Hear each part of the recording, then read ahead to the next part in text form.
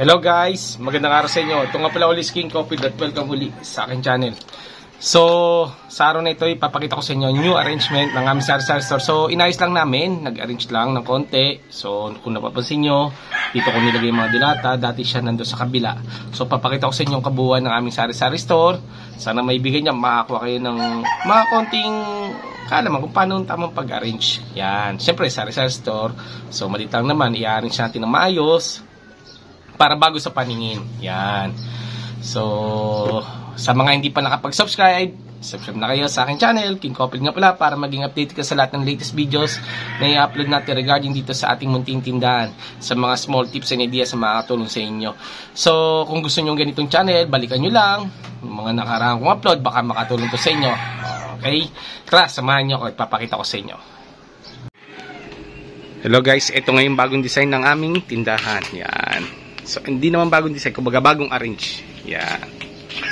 So, usually, tiyo, gulay. Yan. So, yun pa rin. Noodles. Yan.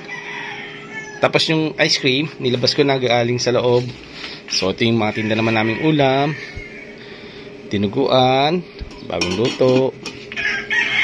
Sinigang na baboy. Sarap munggo, adobo, ano, saka meron pa rin kaming pakbit na ginataan. Yan. So, yon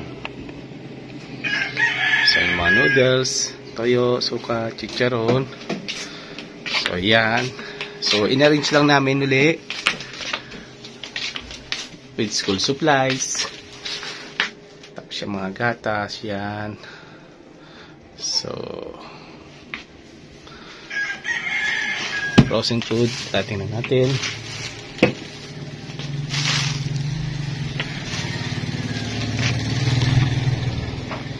So, yun. Tiyo. Mga tiyo at gulay. Yan. So, ito yung arrangement ng aming sari-sari store. Sa kabila tayo. So, dito yung mga feeds inaayos pa. Yan. So, dito. So, bali, ginamit na rin namin itong space na ito. Diyan namin sinabit yung mga biscuit. Sa mga dilata.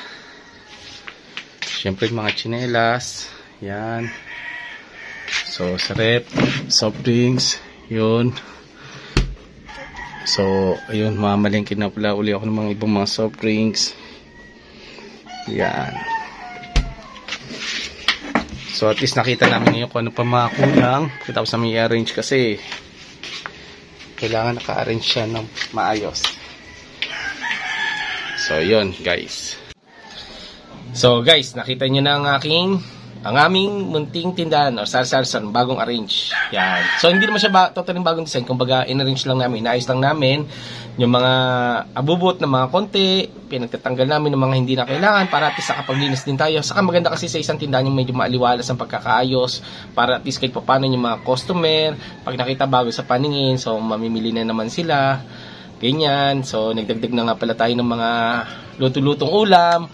So, kaninang umaga, nagtinda naman tayo ng almusal. So, nagustuhan rin naman nila, naka-sold out. Ngayon, mga mangilang-ilang piraso ng mga, o ilang putahe. So, dapat araw-araw iba-ibang putahe. Kahit papano, naiisip ng mga bumibili sa atin na araw-araw ka nagtitinda. Yan. So, guys, okay, sa susunod na ulit video, samahan nyo ako. King Couple nga pala, huwag nyo kalimutan mag-subscribe ulit sa aking channel.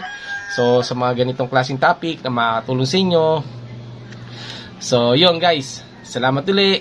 Hanggang sa ulitin. Paalam.